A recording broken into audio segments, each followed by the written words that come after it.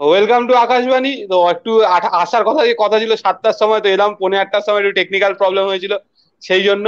তো আজকে আমাদের সাথে রয়েছে শিবাজি দা শিবাজি চক্রবর্তী। তো সবাই যেন একজন বিশিষ্ট ক্রীড়া সাংবাদিক মানে ওয়েস্ট বেঙ্গলের লোক তো ভারতের লোক সবাই মোটামুটি চেনো শিবাজিকে। তো শিবাজি দা রয়েছে আজকে আমাদের সাথে। তো বলো তুমি কেমন আছো? কিরম ভাবে কাটালে এই কদিন? মানে এই যে খারাপ পরিস্থিতিটা কাটলো সবার। মানে এমনি আমার অডিও কি পরিষ্কার শোনা যাচ্ছে? হ্যাঁ হ্যাঁ সব শোনা যাচ্ছে। সব ঠিক হ্যাঁ। আছে মানে দু হাজার কুড়িটা কবে শেষ হবে তাই ভাবছি কারণ মানে যেভাবে চলছে মানে এবং আমারও আজ আমার কেন অনেকেরই অন্যতম ফেভারিট আর্টিস্ট মানে আজকে কেউ হয়তো ভাবিনি একেবারেই শকিং যেভাবে সুশান্ত সিং রাজপুত চলে গেল মানে বোধহয় আমাদের এক সবার কাছে একটা মেসেজ দিয়ে গেল যে যারা মনে করছ একাকিত্বে ভুগছো ডিপ্রেশনে ভুগছো? অন্তত শেয়ার করো। নিজের খারাপ লাগাটুকু শেয়ার করো।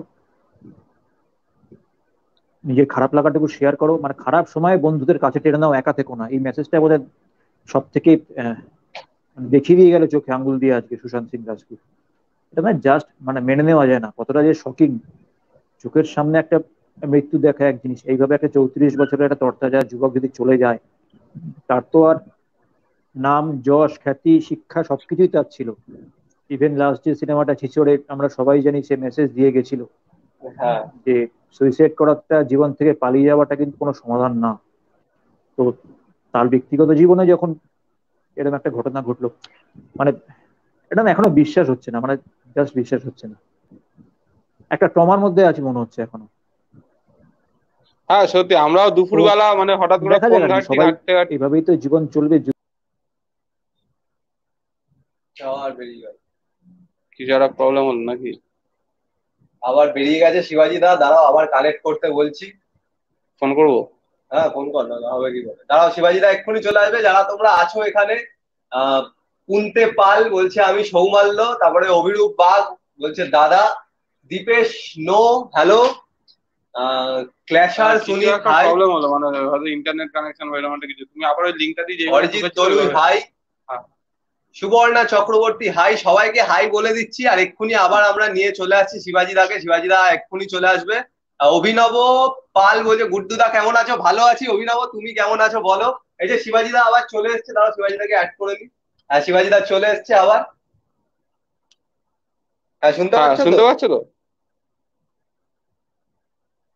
তোমার সাউন্ডটা ইয়ে করো অডিওটা ইয়ে করো মিউট করা। আছে। হ্যাঁ এবার বলো।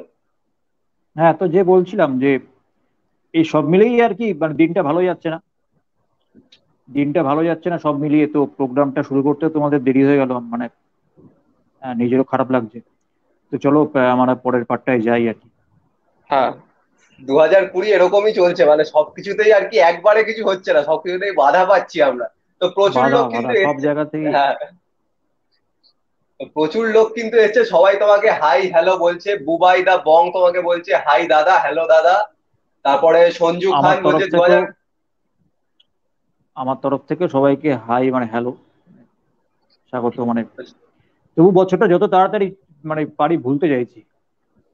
হ্যাঁ একদম। মানে আমাদের ফুটবলও যে কবে আবার ফিরবে সেটাও কেউ জানে না এখন। মানে বিদেশে তো তবুও ফিরছে ইউরোপে মানে আস্তে আস্তে ওখানে রিকভারি হচ্ছে ফিরছে আর এখানে তো কবে ফিরবে কেউ জানে না। মানে আমি পার্সোনালি মানি হচ্ছে নো লাইফ উইদাউট ফুটবল কিন্তু এখন যেভাবে চলছে না মানে আগে লোকের জীবনটা বাঁচুক তারপরে আমরা সেই স্পোর্টসের ব্যাপারে ঢুকবো। মানে এইভাবে পারা যাচ্ছে না আর। আর সত্যি পারা যাচ্ছে না। তো এবার একটু টপিকে আসা যাক। আহ, যেটা হলো তোমার বাড়িতে খেলাধুলার চল প্রচুর আছে। তোমার বাবা একজন মানে বিখ্যাত ক্রিকেটার ছিল, কপিল দেবের সাথে খেলেছেন। তো সেইখান থেকে স্পোর্টসে না গিয়ে স্পোর্টস জার্নালিস্টে কেন জার্নালিজমে কেন এলে? না স্পোর্টসে যাওয়ার ইচ্ছে ছিল। আমাদের যে ছোট ভাই, সে যাদবপুর ইউনিভার্সিটিতে ও খেলেছে। যাদবপুর ইউনিভার্সিটি রিপ্রেজেন্ট করেছে। আমি নিজে ক্যালকাটা ইউনিভার্সিটি খেলেছি। আমি ক্রিকেটটা ভালো খেলতাম। ফুটবলটাও মানে এখনও চালাচ্ছি। তারপরেই আমার একটা অ্যাক্সিডেন্ট হয়েছিল। একটা খেলার সময় মানে হেড করতে উঠে, তখন ওই এইচএস দিচ্ছিলাম। তো মানে ভাইটাল খেলা ক্লাবের ভাইটাল খেলা, আমি স্ট্রাইকারে খেলতাম।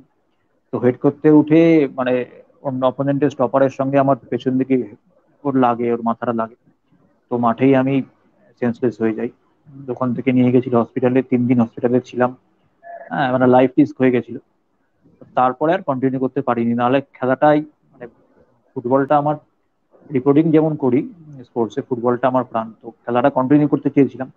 কিন্তু ওই ঘটনার পরে আমার মানে বাড়ির থেকেও প্রেশার এলো। তো সব মিলিয়ে যা হয় আর কি।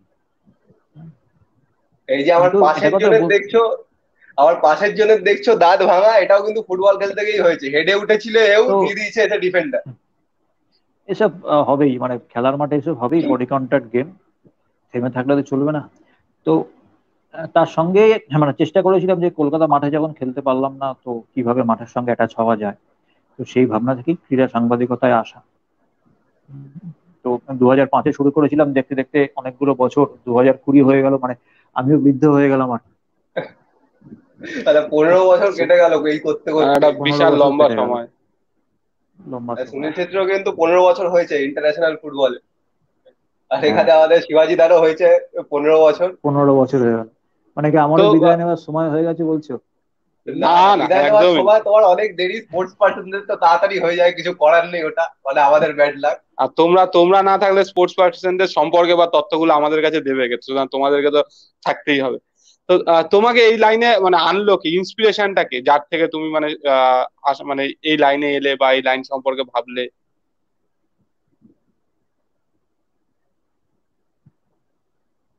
না না ইয়ার কি জাস্ট মানে এটা একটা এটা একটা ছোট্ট একটু ইন্টারনেট কানেকশন প্রবলেম হচ্ছে। তো শিবাজিদার ওখানে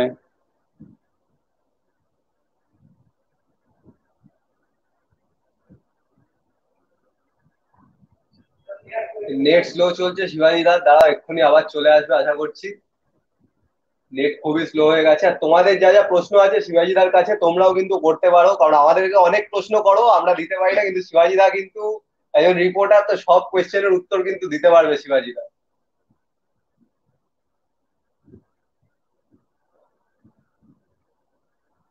প্রো বয় লিখেছো, দাদা, নমস্কার, তোমাকেও নমস্কার, আর শিবাজিদা আসুক শিবাজিদাও বসবে তোমাকে নমস্কার। আবার বেরিয়ে গেছে দাঁড়াও আবার কানেক্ট হবে। তারপরে অনেকেই প্রশ্ন করছ এখানে।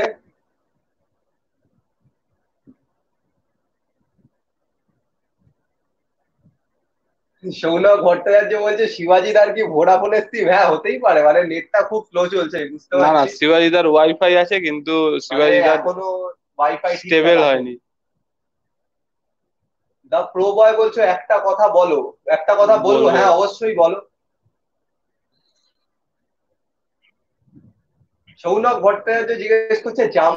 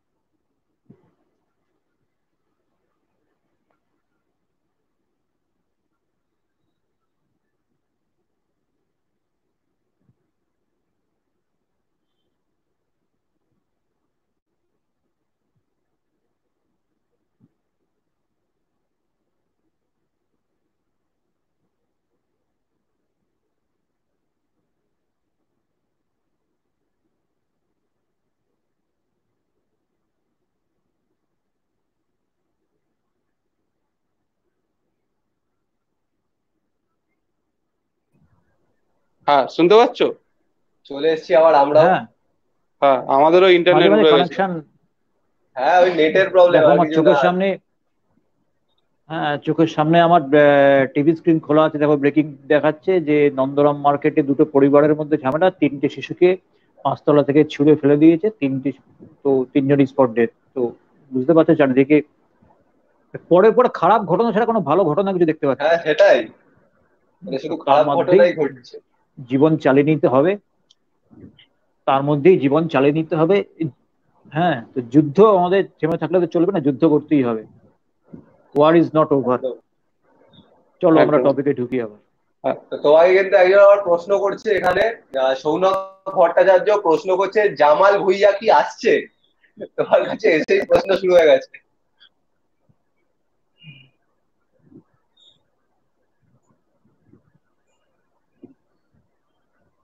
শুনতে পাচ্ছ? হ্যালো হ্যালো শুনতে পাচ্ছ? না জামাল ভুইয়া এখনও কোনো মানে অফিসিয়াল কোনো কনফার্মেশন নেই। আসলে এত রিউমার এত ফেক নিউজ ছড়ায় তো মানে আমার কাছে পার্টিকুলার হ্যাঁ শুনতে পাচ্ছি। তোমরা শুনতে পাচ্ছ? হ্যাঁ হ্যাঁ হ্যাঁ তোমরা তোমরা শুনতে পাচ্ছ? হ্যাঁ হ্যাঁ হ্যাঁ। হ্যাঁ শুনতে পাচ্ছি। হ্যাঁ পাচ্ছি পাচ্ছি আমরাও পাচ্ছি। শুনতে পাচ্ছি তোমরা কি শুনতে পাচ্ছ? আওয়াজটা দেরিতে যাচ্ছে।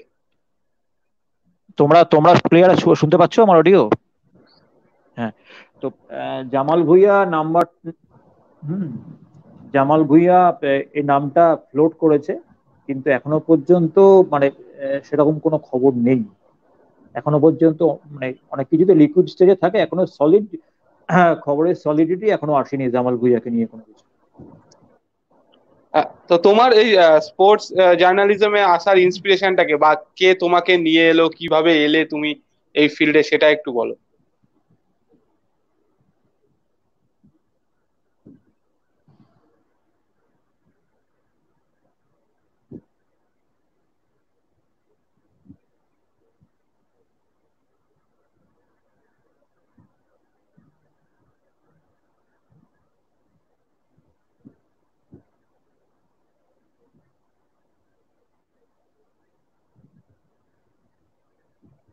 প্রশ্নটা যদি আরেকবার করো কারণ মানে তুমি যে ডিস্টার্ব করছে প্রশ্নটা যদি আরেকবার করো। তুমি যে জার্নালিজমে এলে তো কে কা মানে কাকে দেখে তুমি ইন্সপায়ার্ড বা কে তোমার ইন্সপিরেশন ছিল বা কে তোমাকে এই লাইনে নিয়ে এলো সেই সম্পর্কে একটু বলো।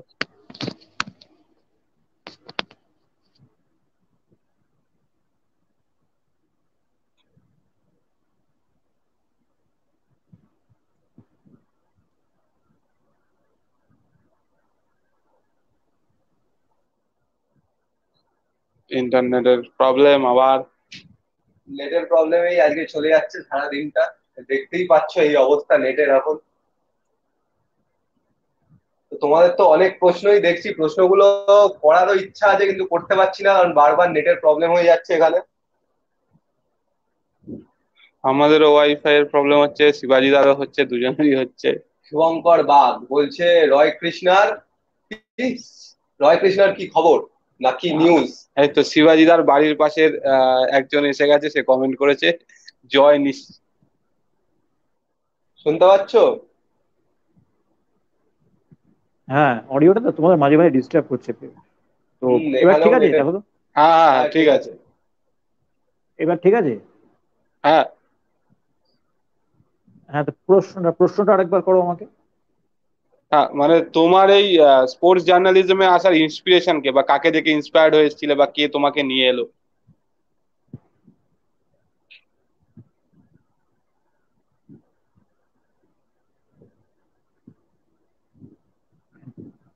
নিয়ে এলো বলতে সেটা দু হাজার দু হাজার দুই তিন আমার এইচএস আমার কি বলে গ্র্যাজুয়েশন তখন কমপ্লিট হয়েছে। তখন দশ মিনিটের খেল বলে একটা প্রোগ্রাম খুবই জনপ্রিয় ছিল। তো আমি তখন সংবাদ প্রতিদিন ফ্রিল্যান্স করতাম। ফ্রিল্যান্স হচ্ছে আমি তখন কপি লিখে হ্যাঁ যে কটা কপি বেরোতো, সেই কপি অনুযায়ী পয়সা পেতাম। তো, তখনই একদিন খবর পেলাম, আমার এক সিনিয়র খবর দিলেন যে, দশ মিনিটের খেলে তখন কুন্তল এবং সুপ্রিয় রায় কর্মকার দুজন তখন অন্য চ্যানেলে চলে গেছে, তো ওই জায়গায় লোক নেওয়া হবে। তো একদিন সরাসরি গিয়ে অনিলাভ চ্যাটার্জিদা অনিলাভ স্যারের সঙ্গে দেখা করি আর কি। আমি কাজ করতে চাই। তো তারপরে যাই হোক কথাবার্তা বলে প্রথম দিন আমাকে মনে আছে এখনও যা স্ক্রিপ্ট লিখতে দেওয়া হয়েছিল। তার দুদিন পরেই হ্যাঁ, অনিল ফোন পাই যে তুই আয় জয়েন কর। দু হাজার পাঁচের জুলাইয়ের শেষের ঘটনা সব ছাব্বিশ কি সাতাশে জুলাই সম্ভবত। ঠিক আছে? তো তারপরে সেই দশ মিনিটের খেলেই আমার শুরু। ওখানে তিনটে বছর হ্যাঁ পার করে তারপরে দশ মিনিটের খেলে যখন বন্ধ হয়ে গেল কোনো একটা কারণে। তারপরে আমি আবার অন্য চ্যানেলে আর কি শিফট করে যাই। তো এইভাবেই সাংবাদিকতার পেশায় আসা। তো এইভাবে শুরুটা আর কি এইভাবেই। তারপরে বিভিন্ন চ্যানেল পেরিয়ে এখন নিউজ টাইমে রয়েছে। তো তুমি তো মানে ছোট থেকেই খেলাধুলা দেখছ মানে সাপোর্টার হিসেবেও খেলা দেখেছ জার্নালিস্ট হিসেবেও খেলা দেখেছ। তো উনিশশো নব্বই এর সময় প্রথমে একটু ডার্বি রিলেটেড আসি, বা ডার্বি না ডার্বি পরে আসব, খেলা রিলেটেড যে উনিশশো নব্বই এর সময় যেই ধরনের খেলাধুলা হতো, তার সাথে আজকালকার খেলাধুলার মধ্যে বা মানে সাপোর্টারদের মেন্টালিটি হোক, কি টিমের টিমগুলোর যেই ধ্যান ধারণা হতো সেইখান থেকে কতটা চেঞ্জেস এসছে।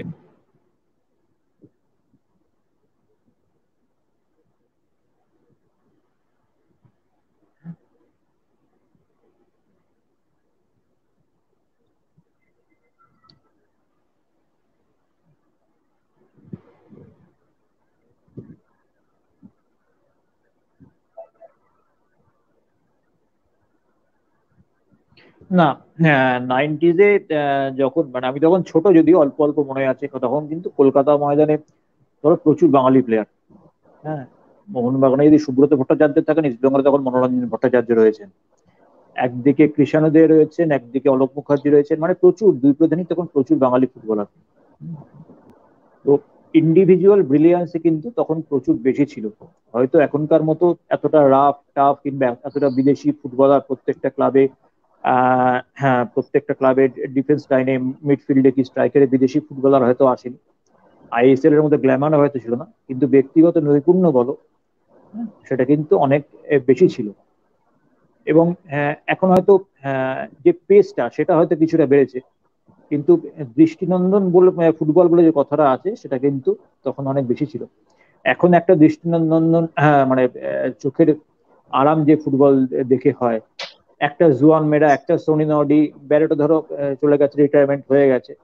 হ্যাঁ, কিন্তু তখন কিন্তু মানে বাঙালি প্লেয়ারদের মধ্যেই বা ইন্ডিয়ান প্লেয়ারদের মধ্যেই হ্যাঁ ঠিক আছে এখনও মনে আছে তেরিন্দার কুমার বা আকিল আনসারি এই এই প্লেয়ারগুলোর কথা। মানে কি ধরনের ফুটবল খেলতেন এটা কিন্তু না দেখলে বিশ্বাস করা যাবে না। আমি কৃষাণুদেরকে বাদে দিলাম। পরবর্তীকালে হ্যাঁ দীপঙ্কর রায়ের যে স্কিল ছিল সেরকম ফুটবলারে কিন্তু এখন হাতে গোনা। এখন একটা মানে পুরোটাই একটা ছকে বাধা হ্যাঁ? পুরোটাই হচ্ছে একটা পুরোটাই হচ্ছে একটা ছকে বাঁধা ফুটবল, সেখানে বিদেশি নির্ভর ফুটবল। কিন্তু মানের দিক থেকে আমার মনে হয় যে ইন্ডিভিজুয়াল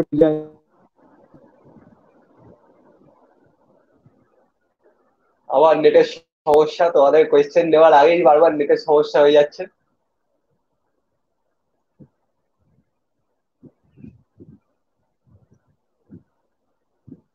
অনেকক্ষণ ধরে জিজ্ঞেস করছ রাজদীপ কিং যে রয় কৃষ্ণার আপডেট দাও। রয় কৃষ্ণার আপডেটে খুব ইন্টারেস্টেড রাজদীপ কিং। দেখা যাক শিবাজি দা আবার আসুক জিজ্ঞেস করব। কি বলছি? কত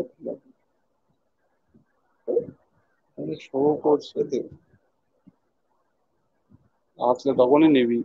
রয় কৃষ্ণের আপডেট দাও জিজ্ঞেস করছে এখন। আবার বলছে ডিভাইস নট কানেক্টেড হ্যাঁ আসছে। হ্যাঁ। হ্যাঁ। হ্যাঁ সেটাই বলছিলাম না। পেশাদারিত্ব হয়তো অনেক বেশি এসছে পেশাদারিত্ব অনেক বেশি হয়েছে। কিন্তু একটা রোমান্টিক ব্যাপার থেকে যায় না? সেটা কিন্তু নব্বই ফুটবলে অনেক বেশি ছিল।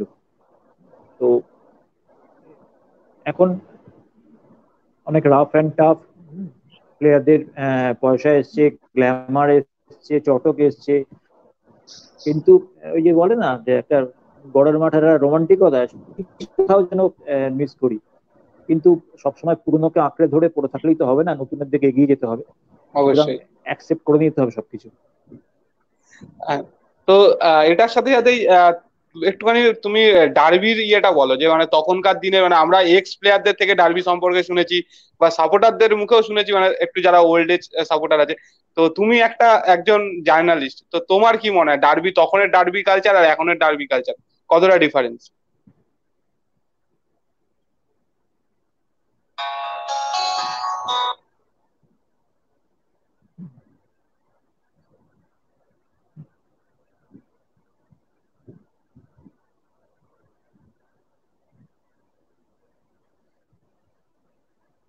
হ্যাঁ না হ্যাঁ ডার্বি কালচার বলতে আমাদের যে সময়টার কথা বলছো ধরো নব্বই পঁচানব্বই ছিয়ানব্বই সাতানব্বই তখন একটা কথা মনে রাখতে হবে তখন কিন্তু সোশ্যাল সাইট এই ফেসবুক ইনস্টাগ্রাম টুইটার বলো বা হোয়াটসঅ্যাপ তখন কিন্তু ছিল না। তখন আমাদের হচ্ছে মেনলি হচ্ছে পেপার মানে খবরের কাগজ। তার উপরে কিন্তু হ্যাঁ। নির্ভর করতে হতো রেডিও ছিল। বাংলা কমেন্ট্রি হয়তো তোমরা শুনেছো কিনা জানি না। আমি কিন্তু ছুটিয়ে ছোটবেলায় বাংলা কমেন্ট্রিটা শুনেছি। যে নমস্কার ইস্ট বেঙ্গল মাঠ থেকে বলছি বা মোহনবাগান মাঠ থেকে বলছি সুতরাং এই বলে যে একটা ছবি মনের মধ্যে তৈরি হয়ে যেত না, তখন হয়তো বয়স কম ছিল বলে তখন মানে উত্তেজনাটা অনেক বেশি ছিল আবেগটা অনেক বেশি ছিল, এখন বয়স হবার সঙ্গে সঙ্গে সেটাকে ম্যাচুরিটি কিছুটা এসছে, সেটাকে কন্ট্রোল করতে শিখেছি। কিন্তু তা সত্ত্বেও বলতে হবে মানে যদি এইভাবে তুলনা করা যায় না মানে এত ম্যাচ দেখেছি ডার্বি কিন্তু এখনও যখনই ডার্বির আগে রাত না, এখনও একবার না একবার ঠিক মনে হয় যে কালকে কি হবে, কালকে জিততে পারে। এর সঙ্গে এর তুলনা ইস্ট বেঙ্গলের ধরো স্টপারে খেলছে মোহনবাগানের স্ট্রাইকার অমুক খেলছেন। ঠিক আছে কেমন ভাবে ডুয়েলটা হতে পারে? নিজের মধ্যে না একটা কল্পনা একটা টাসেল একটা কল্পনা নিজের মধ্যে একটা ঘুমোতে যাওয়ার আগে একটা, কোথাও যেন মনে হয় একটা উত্তেজনা এখনও টের পাই। তো আমাদের আবার একই প্রবলেম একই প্রবলেম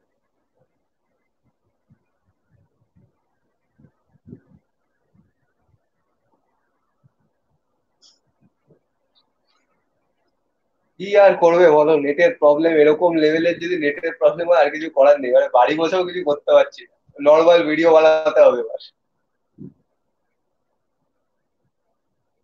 তোমরা সবাই শুধু রয় কৃষ্ণা বালস্কিস এদের খবর চাইছো, বুঝতে পারছি।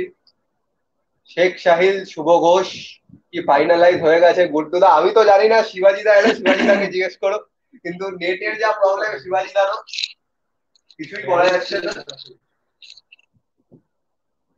আমরা রিপোর্টার নই আমরা জার্নালিস্ট নই সুতরাং আমাদেরকে জিজ্ঞেস করে কোনো উত্তর পাবে না। শিবাজিদা চলে এসে শিবাজিদাকে প্রশ্নের প্রশ্নগুলো করো। তো এখন ফেসবুক সোশ্যাল সাইটে তোমরা শুনতে পাচ্ছ আমার কথা? হ্যাঁ হ্যাঁ।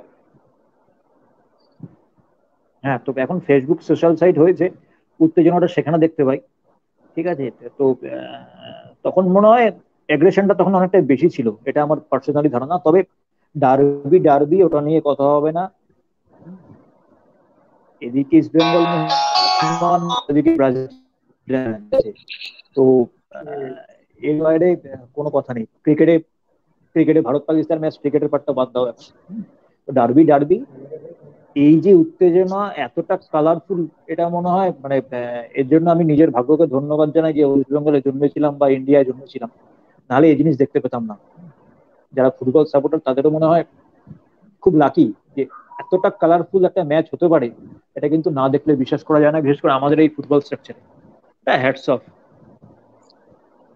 হ্যাঁ তো তোমার কাছে আশি নব্বই হাজার দর্শক ইভেন যখন আমরা ফরেন বিদেশি ফুটবলারদের সঙ্গে কথা বলি হ্যাঁ তো যখন বাইরে কভার করতে যাই তখনও বলতে বাইরের প্লেয়ারদের সঙ্গে যখন কথা বলি সবাই প্রথমে বলে ভাই হুম সবাই একবার কথা বলে ভাই মোহনবাগান ইস্ট বেঙ্গল ম্যাচ কবে?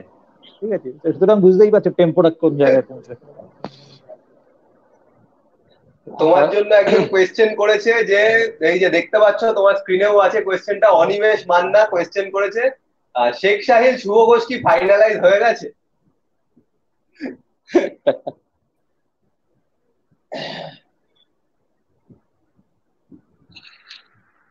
শেখ সাহিল শুভ ঘোষ মানে আমি শেষ পর্যন্ত যা জানি, ওদের এটিকে মোহনবাগানে যাওয়ার সম্ভাবনা অনেক বেশি। কারণ সাহিলের জন্য ইস্ট বেঙ্গল অল আউট ঝাঁপিয়েছিল কিন্তু সাহিলকে বের করে আনা সম্ভব হয়নি। সাহিলের সঙ্গে চুক্তিও ছিল। তো অলমোস্ট ওরা সম্ভবত মানে সম্ভবত বলতে হয় কারণ যতক্ষণ পেন অ্যান্ড পেপার নাও হচ্ছে সেটা তো ফাইনালাইজ হয় না। শেখ সাইল এবং শুভব সম্ভবত এদিকে মোহনবাগানেই যাচ্ছে মানে বল সেদিকেই গড়াচ্ছে আর কি। তারপরে আবার একজন কোয়েশ্চেন করেছে দেখো তোমার স্ক্রিনে দিচ্ছি। গঞ্জালেসের কি আপডেট শুভজিৎ মন্ডল জিজ্ঞেস করছে। কোন গঞ্জালেস? Fran Gonzalez? হ্যাঁ। ফ্রান গঞ্জালেস যদি ভেবে মানে এখনও পর্যন্ত এটিকে মোহনবাগানে যাবার সেরকম কোনো সম্ভাবনা আমরা দেখতে পাচ্ছি না কারণ ওরা মোটামুটি কিন্তু ফরেনার চুজ করে নিয়েছে। অ্যান্টনিও লোপেস হাবাস তিনি নির্দিষ্ট একটা ছকে চলতে ভালোবাসেন। নিজের পছন্দের একটা লিস্ট ওনার কাছে আছে। তো সেক্ষেত্রে গঞ্জালেসের এখনও পর্যন্ত আজকের ডেট এখন কটা বাজে বলো? এখন বাজে আটটা ষোলো। আটটা ষোলো পর্যন্ত কিন্তু ফ্রান গঞ্জালেসের এদিকে মোহনবাগানে যাওয়ার সম্ভাবনা খুব একটা নেই। তো জানি না কালকে সকালে কি হবে। এখনও পর্যন্ত আমি বলছি সম্ভাবনা কিন্তু খুব একটা নেই। মানে এই টিকিটও মনে হয় ওদের খুব একটা নেওয়ার ইচ্ছে নেই কারণ ওই জায়গায় কিন্তু অনেকগুলো ফরেনার রয়েছে। ঠিক আছে আরেক খালা তোমাকে জিজ্ঞেস করে নি কারণ না হলে মারবে এবার আমাদের। অনেকক্ষণ ধরে কোয়েশ্চেন করছি আরেকজন আরেকজন এখানে কোয়েশ্চেন করেছে দাঁড়াও খুঁজে পাচ্ছি না। ওই তো রয় কৃষ্ণ। হ্যাঁ এই যে পেয়েছি। তো কোয়েশ্চেন করেছে রয় কৃষ্ণের আপডেট কি? এমআরএক্স গেমার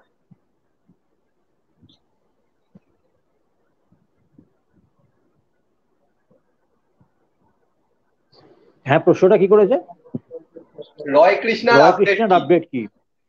রয় কৃষ্ণের আপডেট হচ্ছে রয় কৃষ্ণ এখনও এডিকেএমবি তে সই করেনি হয়তো করে দেবে।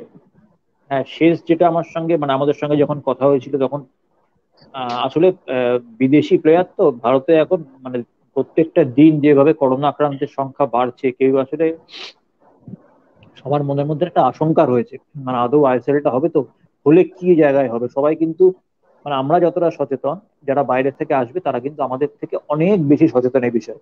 তারা কিন্তু প্রত্যেক কটা বিষয় ক্লিয়ার হয়ে তারপরে কিন্তু আসবে ইন্ডিয়ায় এবং সেই জন্যই রয়কৃষ্ণ হয়তো সমস্ত কিছু চিন্তা ভাবনা করে সই করতে সময় লাগাচ্ছে।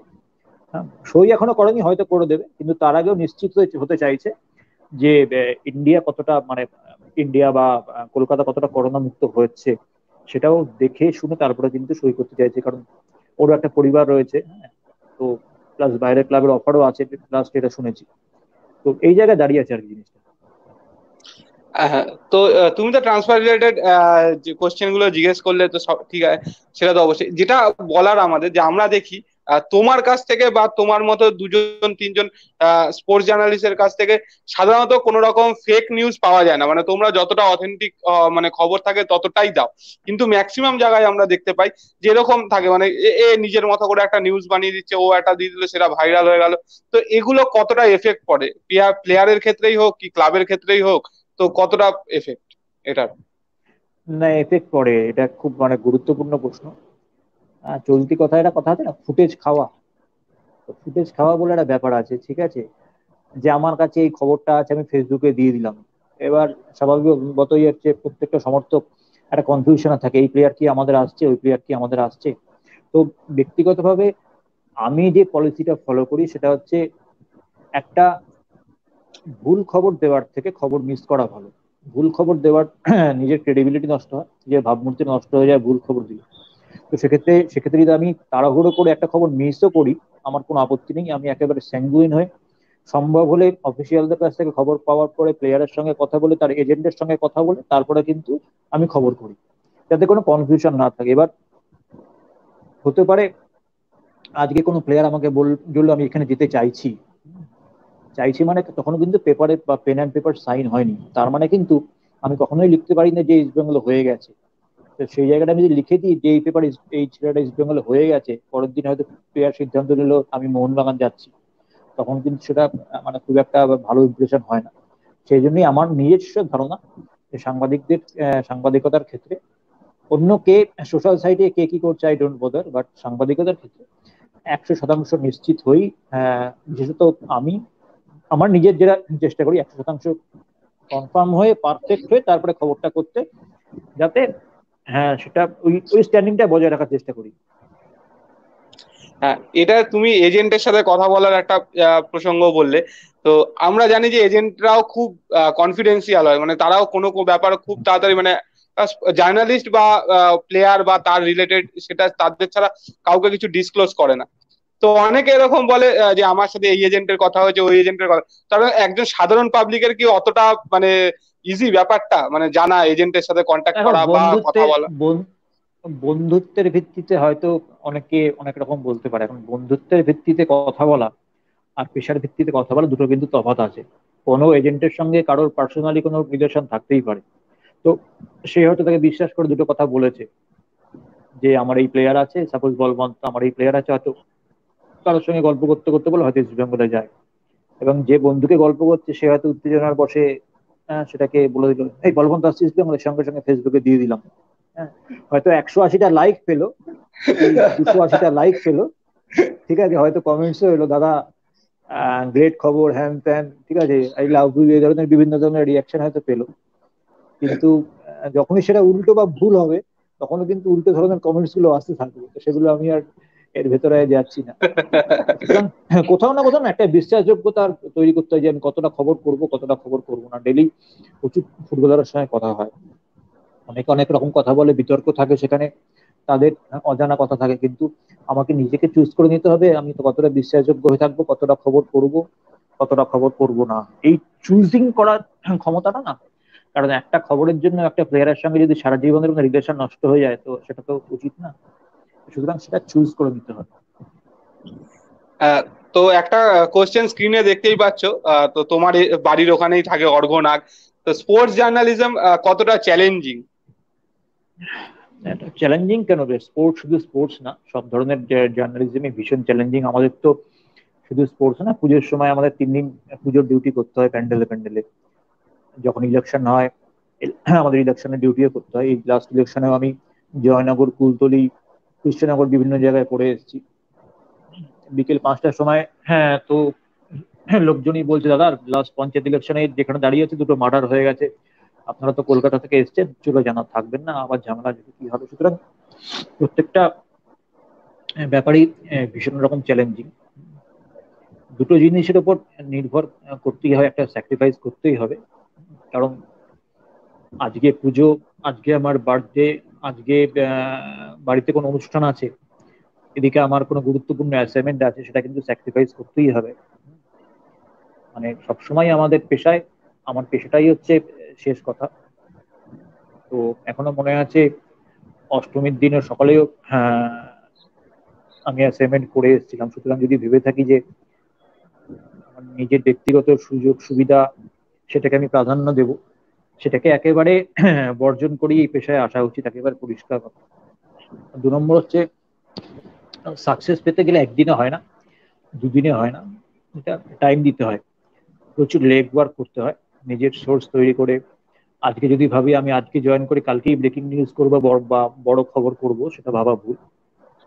নিজেকে, আমি যেহেতু ময়দান চেনাতেই আমার তিনটে বছর সময় লেগেছে, সকাল নটার মধ্যে ময়দানে ঢুকতাম আর অফিস থেকে বাড়ি মানে আমার বাড়ি ধর ডানকুনির কাছে রাজচন্দ্রপুর। তো সকালে বাড়ির থেকে বেরোতাম ট্রেন ধরতাম, সাড়ে সাতটা, পৌনে সাতটায় চলে এসেছে আর রাতে বাড়ি ফিরতাম এগারোটা দশ, ব্যান্ডেল হাওড়া থেকে ধরতাম। ধরে বাড়ি ফিরতাম রাত্রিবেলা বারোটা। হ্যাঁ খেয়ে নিয়ে ঘুমোতে ঘুমোতে রাত্রিবেলা যাই হোক, একটা সময় টাইমিং হয়ে যায় এখনও।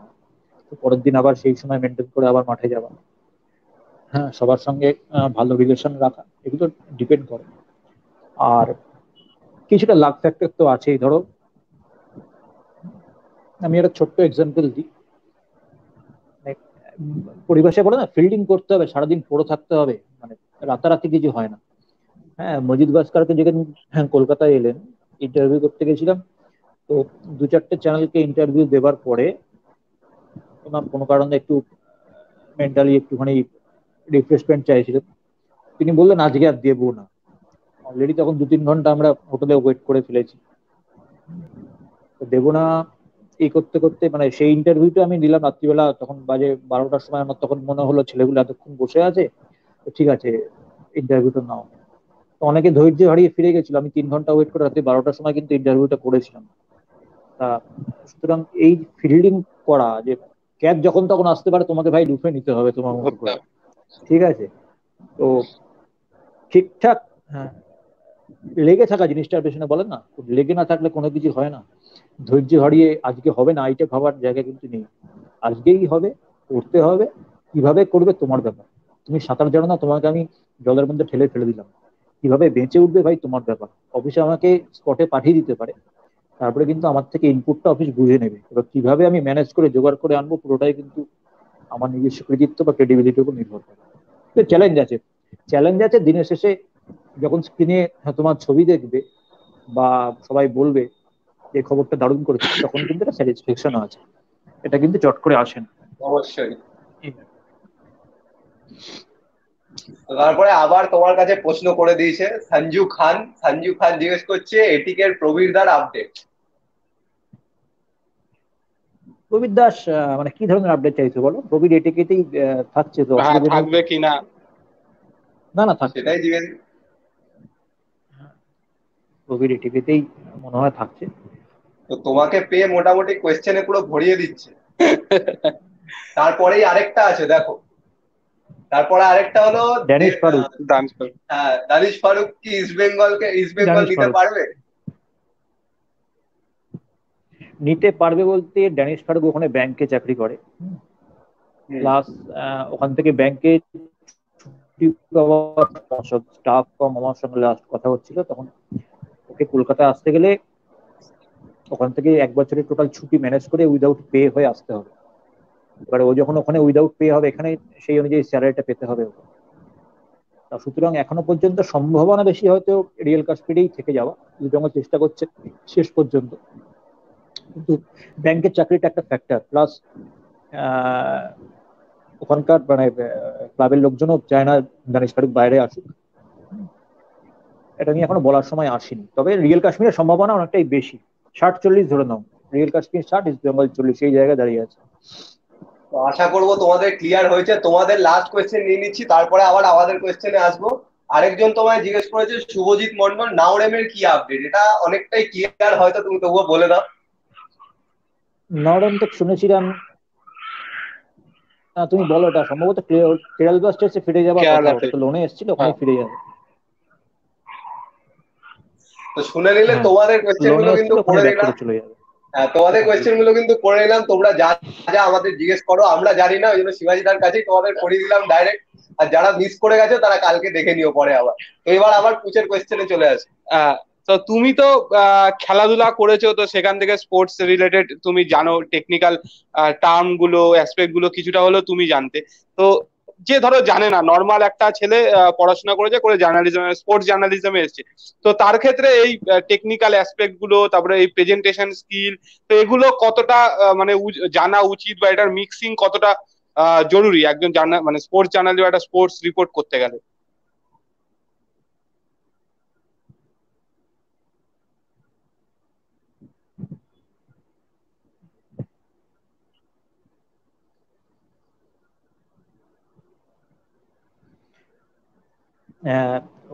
খেলাধুলাটা না তুমি যে বলল না তুমি খেলতে আমি এখনও খেলি জানো তো? এখনও যখন সময় পাই তো এখনও আমার বুকটা করে এখনও টুক করে নেমে যাই মাঠে। তো সেটা নিয়ে তো অসুবিধা নেই। তো একেবারেই হ্যাঁ মানে জিনিসটা সম্পর্কে ভালোবাসা না থাকলে না তুমি কাজটা করে এনজয় করতে পারবে না। আর যেখানে জব স্যাটিসফ্যাকশন নেই সেখানে কিন্তু কাজটা কন্টিনিউ করা মুশকিল। তবু বলব বিভিন্ন ধরনের টার্মস বলো সেগুলো পেপারটা রোজ খুঁটিয়ে পড়া number one number two number দুই হচ্ছে কমেন্ট্রি শোনা ইংলিশ হোক বা বেঙ্গলি হোক। কমেন্ট্রি যদি তুমি ডেলি শোনো, তাহলে কিন্তু এই টার্মসগুলো সম্পর্কে তুমি ডেলি নিজেকে আপডেট করতে পারবে। আর পেপার যদি রেগুলার পড়ো খুঁটিনাটি একটা পেপার না, অন্তত দুই থেকে তিনটে পেপার তোমাকে রেগুলার ফলো করতে হবে। সেক্ষেত্রে তুমি নিজেকে আপডেট রাখতে হবে সবসময়। মানে আমি বলতে চাইছি, ধরো তোমার তুমি কোথাও জয়েন করেছ, এবার তোমার চোখের সামনে দিয়ে কোনো প্লেয়ার পাস করে চলে যাচ্ছে, তুমি সেই প্লেয়ারকে চিনতে পারলে না, তো মানে সেরকম যাতে নেওয়া হয়, সবাই সবকিছু শিখে আসবে, তার তো কোনো মানে মানে কাজ করতে করতে সবাই শিখে যায়, আমি কাজ করতে করতেই শিখেছি, কিন্তু কোথাও না ভালো লাগাটা রাখতে হবে, যে ভালো লাগার শেখার ইচ্ছেটা, যদি ভালো লাগাটা না থাকে, তুমি কাজটাকে যদি এনজয় না করো, তাহলে নিজেরই একটা সময় মনে হবে যে আজকে ছেড়ে দেবো, আজকে আর ভালো লাগছে না দূরে কাজটা ছেড়ে দেবো। সুতরাং মনে হয় নিজের প্যাশন বা ভালো লাগা যদি না থাকে, তাহলে না আসাই ভালো। যদি ভালোবাসাটা থাকে, তাহলেই আসা ভালো। কারণ, আমি নিজে জানি আমাকে যদি কোনো কাজ না থাকে সারাদিনে, আমাকে যদি কেউ ফিফথ ডিভিশন ফুটবল দেখতেও বসে দেয় না, আমি নব্বই মিনিট বসে বসে দেখব, বুঝে যাব, এখন চোখ সেট হয়ে গেছে, এখন বুঝে যাব। সুতরাং এই ভালোবাসাটা আমাকে রাখতে হবে। আমাকে বৃষ্টি ভিজেও ওদের মধ্যেও বলো, আমি কিন্তু বসে নব্বই মিনিট দেখব, আমার কোনো আপত্তি নেই। এটাই আমার ভালোবাসা এটাই আমার ভালো লাগা। নো লাইফ উইদাউট ফুটবল মানে গর্ব করছি না কিন্তু এই ভালোবাসাটা আমার আছে। তোমরা শিবাজি শিবাজি দার ব্যাপারে কিন্তু অনেক কিছুই আজকে জানতে পারছ আর তোমরা তো একের পর এক কোয়েশ্চেন করে যাচ্ছ দেখতেই পাচ্ছি শিবাজি দাকে। তো অনেকে মানে তিন চারজন কমেন্ট করেছে সানডে সিঙ্গানের কি আপডেট তা আবার বেরিয়ে গেছে দাঁড়াও শিবাজি দা তো আবার জয়েন হবে। কোয়েশ্চেন করতে থাকতে হ্যাঁ। এখান থেকে দেখে এখান থেকে আসুক শিবাজিদা। নেটওয়ার্কের খুব প্রবলেম হচ্ছে শিবাজিদার বোঝাই যাচ্ছে।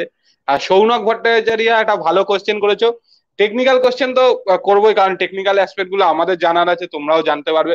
অবশ্যই, ভেতরকার রোমহর্ষের গল্প মানে ইন্টারেস্টিং গল্প অবশ্যই জিজ্ঞেস করব, কারণ একজন জার্নালিস্টের লাইফে এরকম ঘটনা প্রচুর আছে। সুদীপ্ত মন্ডলের কোয়েশ্চেনটাই এরপরে নেব, একদম স্ক্রিনে দেওয়াই আছে। সুদীপ্ত মন্ডল জিজ্ঞেস করছে, ফুটবল কবে হবে? সুদীপ্ত মন্ডলের কোয়েশ্চেনই নেওয়া হবে প্রথমে।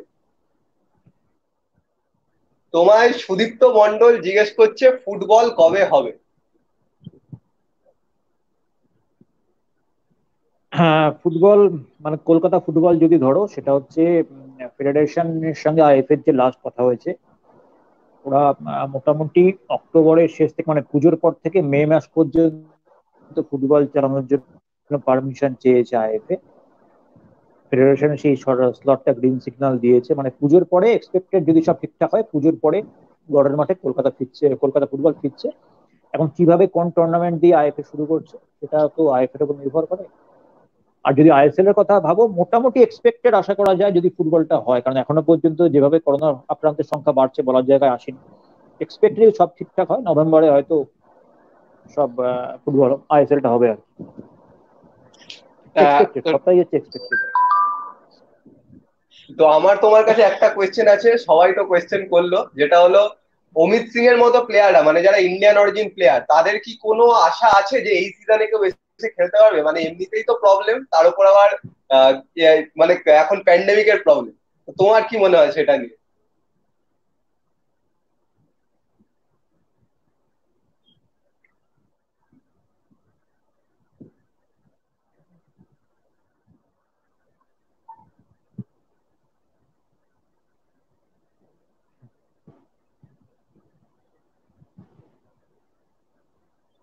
না, সম্ভাবনা পুরোটাই তো মানে বিদেশ দপ্তরের উপর নির্ভরশীল, এটা কিন্তু শুধু আমাদের ন্যাশনাল কোচ টিম্যাচ নন, এটা কিন্তু বব হাউটনও চেয়েছিলেন। অবশ্যই যদি ইন্ডিয়ান অরিজিন প্লেয়ার টিমে ইনক্লুড করা যায় টিমে কিন্তু অনেকটাই শক্তিশালী স্ট্রেন্থেন হয়। তো এর আগের বার কিন্তু পার্সন পাওয়া যায়নি।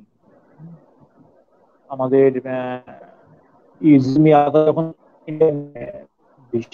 ইন্ডিয়ান নাগরিক হোল্ডিং কিন্তু সুযোগ পেয়েছে ন্যাশনাল টিমে পুরোটাই কিন্তু বিদেশ দপ্তরের উপর নির্ভরশীল ফেডারেশন চেষ্টা করছে কিন্তু এই মুহূর্তে যতটা মনে হয় না, খুব একটা মানে পজিটিভ হতে নিয়ে।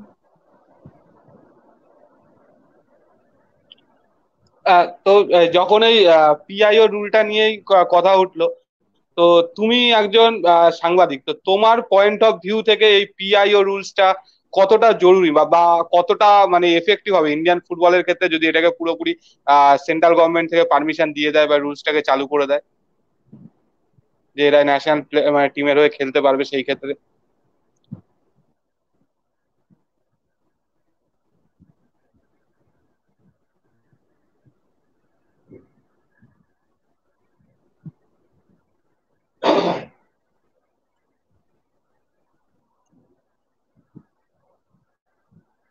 আবার নেটওয়ার্ক প্রবলেম নেটওয়ার্কই নেটওয়ার্ক পুরো একদম ঠিক ঠিক। নেটওয়ার্ক প্রবলেমেই আজকে আমরা শেষ। নেটওয়ার্ক প্রবলেমের জন্যই কিছু করতে পারছি না ঠিকঠাক করে, বুঝতেই পারছ? তো তোমাদের কিন্তু যে যা প্রশ্ন করছ নেওয়ার চেষ্টা করছি। তো দেখতে পাচ্ছ নেটওয়ার্ক প্রবলেমের জন্য অনেকে কিন্তু মিস হয়ে যাচ্ছে, কিন্তু তবুও আমরা চেষ্টা করছি। তোমরা যে যা প্রশ্ন করছ, শিবাজি দাকে, সব শিবাজি দার কাছে পৌঁছে দেওয়ার। এখানে একজন শুভজিৎ মন্ডল আমি তোমার কোয়েশ্চেন দেখেছি, জিজ্ঞেস করব, একই কমেন্ট করতে হবে না, শুভজিৎ মন্ডল জিজ্ঞেস করছে সন্দেশ সিঙ্গালের কি আপডেট তো শুভজিৎ মন্ডল তোমার কোয়েশ্চেনটাও করব, আসুক, এই প্রশ্নটা শেষ হয়ে যাক, তারপরে করব। তোমার প্রশ্নটা আমি স্ক্রিনে দিয়ে রাখছি।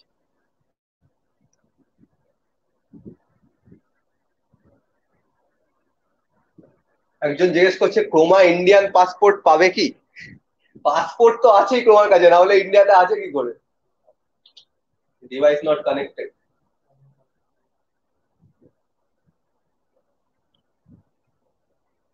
device not connected আবার দেখাচ্ছে ডিভাইস নট কানেক্টেড হয়ে গেছে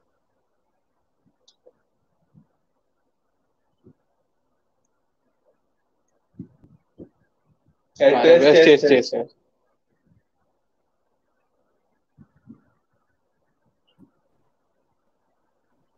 Net slow হয়ে গেছে মনে হচ্ছে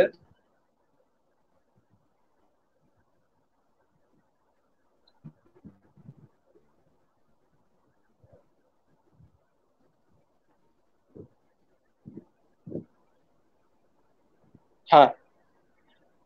শুনতে পাচ্ছ তো?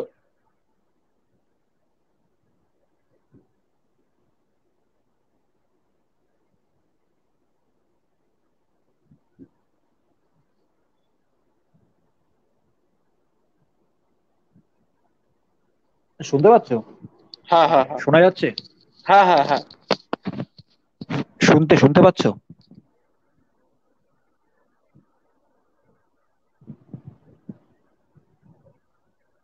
হ্যাঁ। তো একটা এক্সপেরিমেন্ট কিন্তু করা যেতেই পারে, কারণ ন্যাশনাল টিমের সাকসেস ছাড়া কিন্তু ইন্ডিয়ান ফুটবল এগো এগোবে না। তো এখন বিশ্ব জুড়ে কিন্তু প্রচুর ইন্ডিয়ান অরিজিন প্লেয়ার তারা কিন্তু দারুণ ভালো ফুটবল খেলছে। সুতরাং একটা এক্সপেরিমেন্ট করা কিন্তু যেতেই পারে। যদি ন্যাশনাল টিমটা সাকসেস পায়, তো প্লাস এটা কিন্তু খুব একটা খারাপ মুভ নয়। বিদেশি কোচেরাও চাইছেন। তো দেখা যাক না অনেকভাবে তো চেষ্টা করা হচ্ছে আমাদের দেশীয় ফুটবলটাকে ডেভেলপ করার। তো এটা একটা মাস্টার স্ট্রোক তো হতেই পারে। শুভজিৎ মন্ডল মোটামুটি পঞ্চাশ বার কমেন্ট করেছে যে সন্দেশ ঝিঙ্গানের কি আপডেট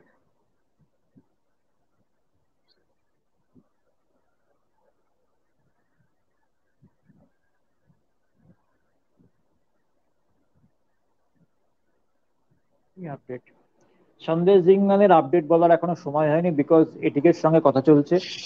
বেঙ্গালুরুর সঙ্গে কথা চলছে, বিদেশের একটা ক্লাবের অফারও এখনও আছে। সন্দেশ যতক্ষণ না নিজে ডিসিশনটা জানাবে নেবে ততক্ষণ মনে হয় আপডেটটা হবে না, কারণ তিনটে একটা ট্রায়াঙ্গেল নিয়ে ওকে নিয়ে টাকা অপরাধ চলছে। ঠিক আছে, তো একটু ওয়েট অ্যান্ড ওয়াচ করতেই তো হবে। আর যেটা সবচেয়ে বড় প্রশ্ন, সেটা একজন তোমাকে করেছে, তোমার স্ক্রিনে দিচ্ছি। সেই প্রশ্নটা হলো, সৌরভ ঘোষ স্পোর্টস লাভার জিজ্ঞেস করেছে ইস্ট বেঙ্গলের ইনভেস্টার নিয়ে কিছু আপডেট ইস্ট বেঙ্গল কি আইএসএল খেলবে? সব থেকে বড় প্রশ্ন যখনই বলেছে তখনই বুঝেছি ইস্ট বেঙ্গল কি কি আপডেট ইস্ট বেঙ্গল কি আইএসএল খেলবে? তো আইএসএল খেলবে আর ইনভেস্টার দুটোই জিজ্ঞেস করেছে।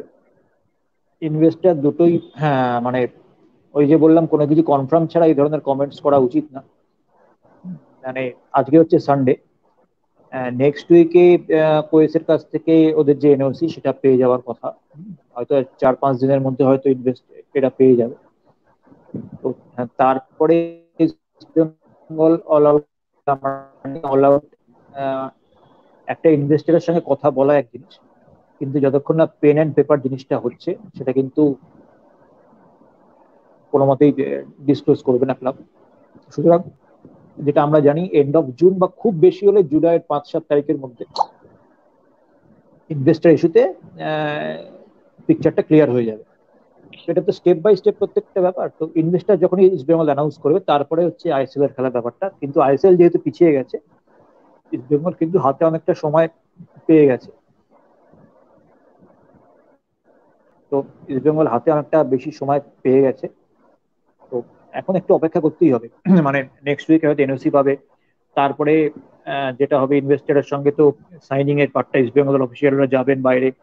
হ্যাঁ সেখানে পেন অ্যান্ড পেপার হওয়ার পরে তারপরে বাকিটা। সুতরাং ওয়েট অ্যান্ড ওয়াচ আর কি। হ্যাঁ, তো অবশ্যই টেকনিক্যাল কোশ্চেন গুলোতে আরও আসব কিন্তু তার আগে সৌনক ভট্টাচার্য একটা ভালো প্রশ্ন করেছে যে তুমি একজন মানে একজন রিপোর্টারের জীবনে প্রচুর রোমহর্ষক গল্প থাকে। তো তোমার জীবনে এরকম কোনো আছে যেটা মানে গায়ে কাটা দেওয়ার মতো গল্প? সেটা যদি একটু শেয়ার করো। গায়ে কাটা দেওয়ার মতো গল্প তো মানে প্রচুর। মানে একটা না বলতে বসলে এখন একটা বই হয়ে যাবে।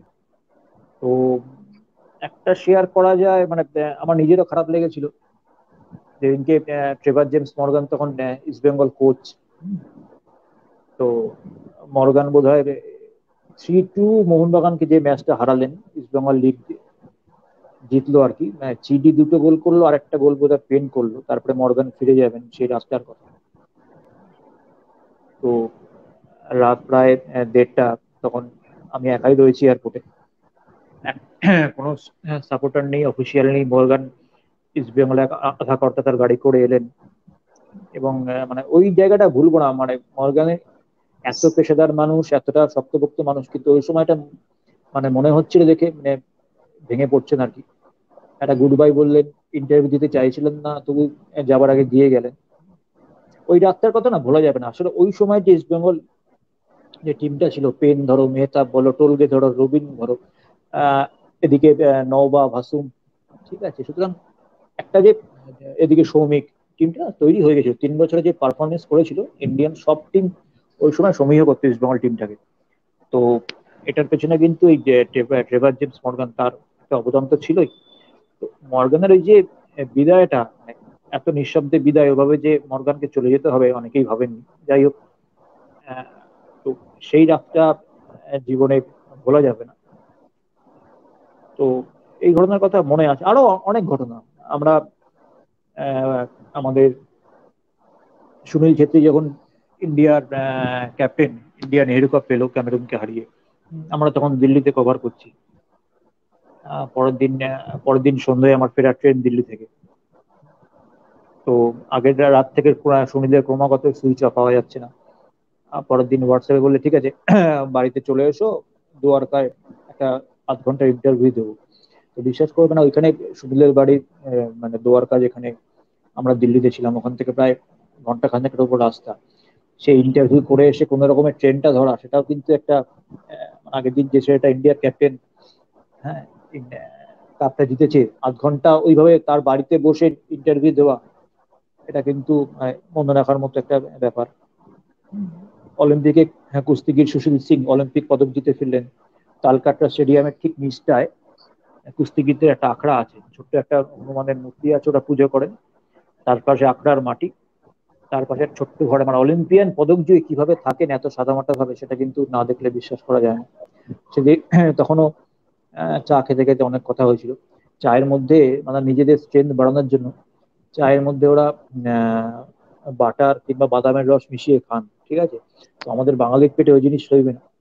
তো মানে দেখেছিলাম আর এগুলো এক একটা এক্সপিরিয়েন্স ইভেন মানে যখন বাইরে গেছি ঠিক আছে, আরমান্দ কুলাসের বাড়িতে যখন গেছি ইস্ট বেঙ্গল খুব একটা সময় ভালো যাচ্ছে না।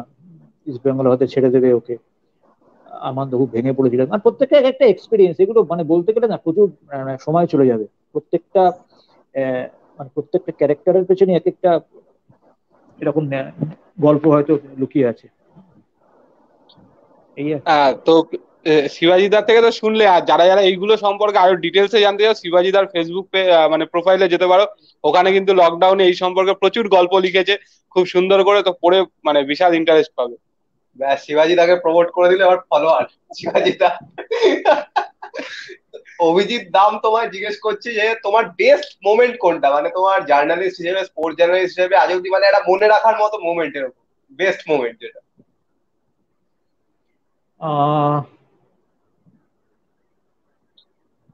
রাখার মতো মোমেন্ট মানে প্রচুর আছে অ্যাট এ গ্লান্স ওইভাবে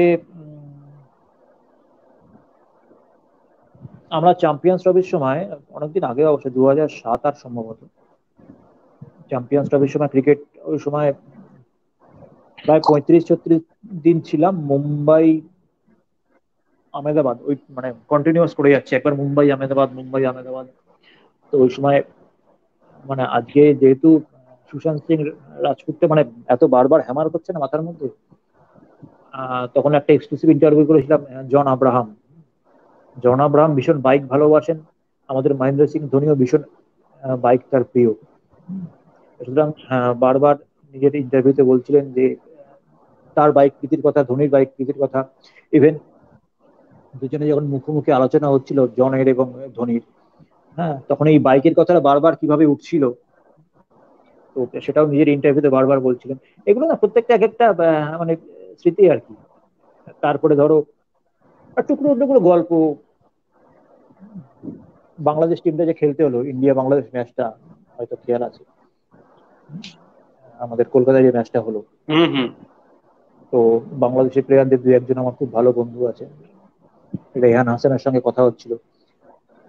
তো ওদেরও হচ্ছে ময়মনসিং আমাদের আদি বাড়ি ছিল ময়মনসিং তো রেহানকে বলেছিলাম, একদিন যাব। তো এখনও মানে বড় দাদা চলে আসো তোমার ঘুরে দেখাবো আমি। চলে আসো কোনো সমস্যা নাই। পূজাতে আমার এখানে আসো, ঠিক আছে? একসঙ্গে ঘুরুন দুইজনে, কোনো সমস্যা নাই। তো এইভাবে না বন্ধুত্বগুলো তৈরি হয়ে যায়। মানে প্রত্যেক কটা মানে এত মানে মনে রাখার মতো স্মৃতি না, এগুলো এক একটা আলাদা করে এইভাবে পিক আপ করা খুব মুশকিল। প্রত্যেকটা ক্যারেক্টারের পেছনে এত গল্প লুকিয়ে থাকে। শঙ্করলাল চক্রবর্তী, সঞ্জয় সেন, সোনি নর্ডি ওরাফা হ্যাঁ ডুডং হ্যাঁ। তো আমরা যখন, ডং যখন সেই দুটো থেকে দুটো গোল করল, পরের দিন ডং এর বাড়ি গেছিলাম হ্যাঁ। তো এমন কিছু কিছু গল্প বলেছিল। তো সে আলাদা করে এগুলোকে পিক করা খুব মুশকিল, কিন্তু মানে এগুলো বলতে গেলে একটা সারাদিন লাগবে। এত ক্যারেক্টার আসলে। আরও একটা ঘটনার কথা মনে পড়ছে মানে আমি তখন দশ মিনিটে খেলে, একটা স্পেশাল অ্যাসাইনমেন্ট ছিল সৌরভ গাঙ্গুলির বাড়িতে টোয়েন্টি ফিফ ডিসেম্বর অনিলাবদ একজন, ওই সান্তা ক্লজ একজনকে সাজিয়ে তাকে নিয়ে গেছিলাম দাদার বাড়িতে আর কি, দাদাকে উইশ করার জন্য। ঠিক আছে গেটটা খুলে তো দারোয়ান প্রথমে চমকে গেল, তারপরে আমি বললাম এরকম দাদা নিজে এসে সাতটার সঙ্গে হ্যান্ডশেক করে, ঠিক আছে, তারপরে তোরে এই পাগলামো না, তোরা পারিসও বটে, তোরা না এমন পাগলামি করিস, তারপরে সানাকে ডেকে নিয়ে এসে খুব মজার হলো নিজের হাতে কোল্ড ড্রিঙ্কস হ্যাঁ পরিবেশন করলেন। এইগুলো মনে হয় যে সাংবাদিক মানে সাংবাদিক না হলে এই ধরনের ঘটনার সাক্ষী থাকা যায় না বা এই ধরনের মানে এক্সপিরিয়েন্স তৈরি হয় না। এগুলো প্রচুর ঘটনা আছে, প্রচুর মজার ঘটনা আছে, প্রচুর খারাপ লাগার ঘটনা আছে, প্রচুর ভালো লাগার ঘটনা আছে। তো এগুলো চলতে থাকবে আর কি। হ্যাঁ, আমরা যদিও সাংবাদিক নয় কিন্তু এরকম কিছু কিছু ফিলিংস আমরাও পেয়েছি। মানে মেহতাব দা সন্দীপ দা এদের সবার বাড়ি গিয়ে কোটাল দা প্লাস শালবনিতে যখন গেছিলাম ওদের সাথে তো মানে অসাধারণ একটা ফিলিংস এগুলো এগুলো অন্যরকম ফিলিংস এগুলো না বললে বোঝা যায় না। তো একদম শেষের দিকে চলে এসেছি প্রায় এক ঘণ্টা হতে চলল। তোমাকে সায়ন মুখার্জি জিজ্ঞেস করেছে মানে তোমার সাংবাদিক হিসেবেই তোমাকে জিজ্ঞেস করেছে যে এই লাস্ট সিজন যেটা গেল আই লিগ আইএসএল দুটো মিলিয়েই বলো যে তোমার বেস্ট প্লেয়ার কাকে মনে হয়েছে? মানে ইন্ডিয়ান ও ফরেনার সব মিশিয়ে। হ্যাঁ আইএসএল যদি ধরো প্রবীর দাস আমার কাছে বেস্ট কারণ প্রবীরের ওই রয় কৃষ্ণ হয়তো পারফরমেন্স করেছে কিন্তু ইন্ডিয়ান প্লেয়ার প্রবীর বিশেষ করে ইঞ্জুরি থেকে ফিরে এসে যে পারফরমেন্সটা করেছে হ্যাটস অফ প্লাস ও কিন্তু এখন ট্রান্সফরমেশন হয়েছে ও কিন্তু এখন রাইট ব্যাক না রাইট উইং ব্যাকগুলো করে যে সেন্টার যে সেন্টারগুলো করছে তাতে কিন্তু মনে হয় কৃষ্ণা এবং উইলিয়ামসের কাজটা অনেকটা সোজা হয়েছে। আর আই লিগ যদি ধরো দুটো বেস্ট মোহনবাগানের বেইতিয়া এবং ইস্ট বেঙ্গলের ওয়ান মেরাকে কেন বলব? কারণ ওয়ান মেরা কিন্তু কোনো সাপোর্ট পায়নি। এক একটা সময় মনে হয়েছে মানে ওয়ান মেরা সঙ্গে অপোনেন্টের খেলা হচ্ছে, মাঝে মাঝে আমার এই ধরনের মনে হয়েছে। ওয়ান মেরা যদি একটু সাপোর্ট পেতো অপোনেন্টের থেকে, বলতে বাধ্য হচ্ছি মানে মার্কোসের বদলে কারও সমালোচনা করা ডাইরেক্ট এভাবে উচিত না। যদি একটা আধা ফিট র্যান্টি মার্টিন্সও থাকতো ওয়ান মেডাকে কিন্তু আরও বেশি ধারালো লাগতো আমার মনে হয়। আর বেতিয়াতে জবাব নেই। মানে এত সুন্দর ছোট ছোট জায়গায় হ্যাঁ, মানে দেখতে হয় বলো না যে কারও খেলা খেলার মনে হয় বসে দেখতে হয় লা জবাব তো এই এদের কথা বলতেই হবে। হ্যাঁ তো আবার একটুখানি জার্নালিজম নিয়ে চলে আসি। তো একজন জার্নালিজমে জার্নালিস্টের ক্ষেত্রে তার ফিলোসফিটা কীরকম হওয়া দরকার? মানে জার্নালিজম জার্নালিস্ট হওয়ার ক্ষেত্রে বা জার্নালিস্ট হিসেবে কাজ করার ক্ষেত্রে? কাজ করার ক্ষেত্রে ফিলোসফি বলতে এটা শুধু জার্নালিজম না, সব ক্ষেত্রে হচ্ছে নিজেকে নিজের কাছে অনেস্ট থাকতে হবে। মানে এমন কিছু করব না, এমন কিছু এলো জার্নালিজম করব না, যাতে নিজে যখন বাড়ি ফিরবো, যখন একলা সময় কাটাবো, তখন যেন নিজের বিবেকের কাছে আমি দায়ী না থাকি যে সারাদিনে আমি এটা কি করলাম। নিজের খবর করার জন্য, নিজের স্কুপ করার জন্য এমন কিছু করব না, যাতে আমি নিজের বিবেকের কাছে দায়ী থাকি। নিজের কাছে নিজেকে অনেস্ট থাকাটা একটা বড় ফিলোসফি আর দু নম্বর হচ্ছে ডেডিকেশন এবং জিনিসটার প্রতি ভালো লাগা। এই তিনটে জিনিস যদি কারও থাকে, আমার মনে হয় সে সাকসেস পেতেই পারে। আমরা তো আমাদের যারা সিনিয়র ধরো অনিলাবদা হ্যাঁ, সুপ্রিয়দা পাড়াইদের কাছ থেকে বিভিন্ন রকম শিখে প্রিন্টে জয়দা মুনালদা দীর্ঘদিন ধরে কাজ করছেন। সুতরাং ডেডিকেশন না থাকলে কিন্তু মার্কেটে যে অবস্থা মার্কেটে টিকে থাকা খুব মুশকিল হয়ে যায়। আর অবশ্যই এটা যেটা বললাম সব ফিল্ডেই অবশ্যই কাজ করে। নিজেকে নিজের কাছে অনেস্ট থাকতেই হবে। হ্যাঁ তো এবার একটুখানি হ্যাঁ বলো। কাজটা ভালো লাগে করতে হবে। অবশ্যই। তো এবার একটা হট হট টপিক মানে লাস্ট তিন মাস ধরে মোটামুটি চলে আসছে। মোহনবাগান এটিকে মার্জার যেটা হয়েছে। তো অ্যাজ এ জার্নালিস্ট তোমার পয়েন্ট অফ ভিউ কি? এটা কতটা ফ্রুটফুল হতে পারে ইন্ডিয়ান ফুটবলের ক্ষেত্রে বেঙ্গল ফুটবলের ক্ষেত্রে? এটা হ্যাঁ, মোহনবাগানের না করে এই টাইপটা না করে মোহনবাগানের উপায় ছিল না কারণ দীর্ঘদিন ধরে আমরা দেখছি যে মূলত তিনজন ক্লাবের ফেস টুটু বসু সবার উপরে এদিকে সৃঞ্জয় টুম্পাইদা আর এদিকে দেবাশিস দত্ত। সুতরাং একটা সময় যখন তোমাকে পেশাদারিত্বের পথে পা বাড়াতে হবে আইসিএল এর পথে পা বাড়াতে হবে। তখন কিন্তু এই টাই আপটা অত্যন্ত জরুরি ছিল। পৃথিবীর বিভিন্ন ক্লাবে এই টাই আপটা হয়ে থাকে। কিন্তু যেটার জন্য আমি ওয়েট করে আছি টাই আপ হওয়া এক জিনিস। কিন্তু প্রথম ছ মাস, আট মাস একটা হানিমুন পিরিয়ড থাকবে তখন একটা সব ভালো সব ভালো সব ভালো একটা ফিল গুড ওয়েদার থাকবে। তারপরে মানে ঠিক এক বছর পরে জিনিসটা কোন জায়গাটা গিয়ে দাঁড়ায়? জিনিসটা একটা জিনিস তৈরি করা কঠিন। কিন্তু জিনিসটাকে না ধরে রাখা আরও বেশি কঠিন। যেটা কোয়েসের ক্ষেত্রে হলো, প্রথম কয়েকদিন পরেই সমস্যা শুরু হয়ে গেল। আশা করি মোহনবাগানের ক্ষেত্রে দুপক্ষই নিজের তো একটা ব্র্যান্ড তো যদিও এই টিকিট এইটটি পার্সেন্ট কিনে নিয়েছে মোহনবাগানের কুড়ি শতাংশ আছে। তো আমি কিন্তু জিনিসটা শুরুর দিকে তাকিনি। আমি ভাবছি এক বছর পরে জিনিসটা কোন জায়গায় কিন্তু সত্যিকারের বলা যায় যে ক্লাবটা তৈরি হচ্ছে, সেটা ভবিষ্যৎ তো এই ফ্র্যাঞ্চাইজি বেস নিয়ে যখন কথা হচ্ছে, তো ফ্র্যাঞ্চাইজি বেস যে লিগ হচ্ছে, আমাদের ধরো ইন্ডিয়াতে আইএসএল হলো পাঁচ বছর হয়ে গেল। তো বিদেশে তো এরকম লিগ অনেক হয়, বিদেশের প্রত্যেকটা ক্লাবে এরকম ফ্র্যাঞ্চাইজি থাকে কম বেশি, বা একটা ফ্র্যাঞ্চাইজি অনেক জায়গায় ক্লাব কেনে।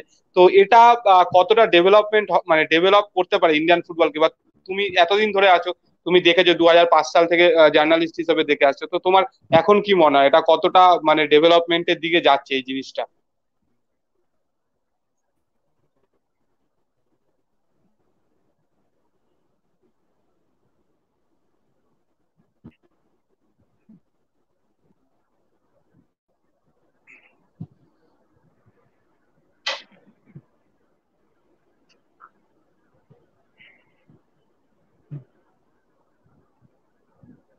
দেখো দুটো ব্যাপার হবে। প্রথমে পজিটিভ ব্যাপারটা বলি। আইএসএল হওয়ার পরে যে সকল ফরেন কোচ বা ফরেন প্লেয়াররা এসছেন, তাদের সঙ্গে ইন্ডিয়ান ফুটবলাররা যখন ড্রেসিং রুম শেয়ার করছেন, একটা হীনমন্যতা কাটতে বাধ্য। আইএসএল প্লেয়ারদের যেভাবে ট্রিট করা হয়, যে হোটেলে রাখা হয়, যেভাবে প্রপার ট্রেনিং দেওয়া হয়, যেভাবে বিদেশে নিয়ে গিয়ে প্রি সিজন করানো হয়, এটা কিন্তু মানতেই হবে হ্যাটসঅপ কারণ এইভাবে অন্য কোনো ভাবে কেউ কোনোদিন চিন্তা করেন। আগে প্লেয়াররা ট্রেনে যাতায়াত করতো, একটা থ্রি স্টার হোটেলে রাখল, হেরে গেলে গালাগালি শুরু হয়ে গেল। হ্যাঁ, এটা ওই ট্রিটমেন্টটা মানে দেখতে ভালো লাগতো না। একটা ফুটবলারদের তো আইএসএল আসার পরে সবকিছু ব্যাপার অনেক বেশি ঝাঁচকচকে হয়েছে পারফেকশন এসছে মানসিকতার বদল এসছে হীনমন্যতা কেটেছে। বিভিন্ন বড় কোচেরা আসছেন কোচিং করাচ্ছেন সুতরাং সেই অ্যাডাপ্টেশনটা আমাদের মধ্যে আসছে। কিন্তু কোথাও যেন আমার মনে হয় যে এটার সঙ্গে যদি পাশাপাশি ক্লাব ফুটবলটাকেও বাঁচানো যেত যে সিটি মাহিন্দ্রা হম। ডেম্পো সালগাফার এই ক্লাবগুলোকে বাঁচানো যেত তাহলে কিন্তু ইন্ডিয়ান ফুটবলটা আরও বেশি ডেভেলপ করতো একই সঙ্গে। কারণ ওই সময় ডেম্পো সালগাফার মাহিন্দ্রা যে প্যাটার্ন অফ প্লেইং বা যে স্ট্যান্ডার্ড অফ প্লেইং তারা দিয়ে গেছে এবং প্রচুর ফুটবলার কিন্তু তারা কিন্তু তুলেছে। শুধু ইস্ট বেঙ্গল মোহনবাগান না প্রচুর ফুটবলার কিন্তু গোয়া মুম্বাই থেকে উঠে এসছে। সুতরাং ওইগুলোকে যদি বাঁচানো যেত যে সিটি পাঞ্জাব ফুটবলের কি টিম ছিল? আমরা ফেড কাপ করতে গিয়ে দেখেছিলাম সমীর থাপারের বাড়িতে, বাপরে বাপ মানে বিশাল ব্যাপার সে পাঞ্জাব ফুটবলে তো এটাকে পাশাপাশি বাঁচানো উচিত ছিল। তাহলে জিনিসটা অনেক জোরদার হতো। শুধু আইএসএল এর সঙ্গে যদি আরও ক্লাব ফুটবলকে নিয়ে আসা যেত, এই ক্লাবগুলোকে রক্ষা করা যেত ইন্ডিয়ান ফুটবল কিন্তু তাহলে অন্য চেহারা পৌঁছে যেত।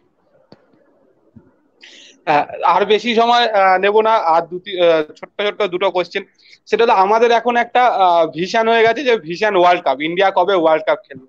তো তোমার কি মনে হয়? মানে আমরা অনেকের সাথে কথা বলেছি নবাব দা বা মেহতাব দা নবিদা, এরা সবাই বলছে যে এখন যা পরিস্থিতি দু হাজার বত্রিশ বা ছত্রিশের আগে সেটা পসিবল নয়। তো তোমার পয়েন্ট অফ ভিউ থেকে কি মনে হয়? এই দিনটা কবে আসে? আমি ওয়ার্ল্ড কাপ অব্দিও গেলাম না। মানে কবে মনে হয় যে ইন্ডিয়া এমন একটা জায়গায় যাবে যখন এশিয়ারই বেস্ট টিম ধরো জাপান কোরিয়া এদের সাথে একটা মানে স্ট্যান্ডার্ডে বসবে বা ওই স্ট্যান্ডার্ডে আসবে?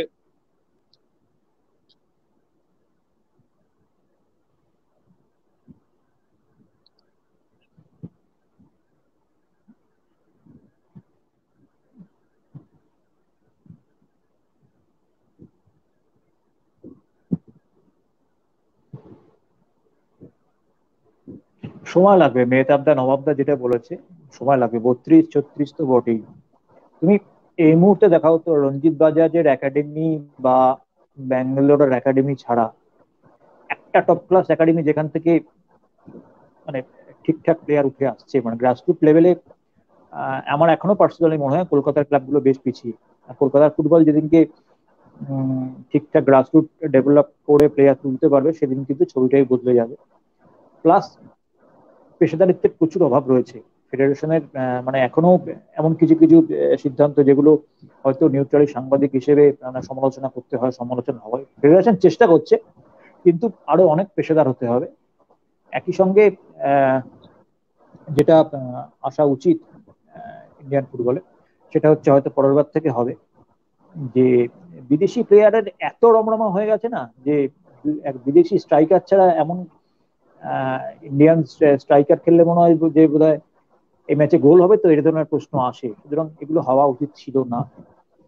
তো সব মিলিয়ে ওয়েট করতেই হবে। এখন যা অবস্থা, এখনও আমরা গ্রো করছি, কিন্তু ওদের সঙ্গে ফাইট করার মতো কোরিয়া জাপানের সঙ্গে ফাইট করার মতো সময় কিন্তু এখনও আসেনি।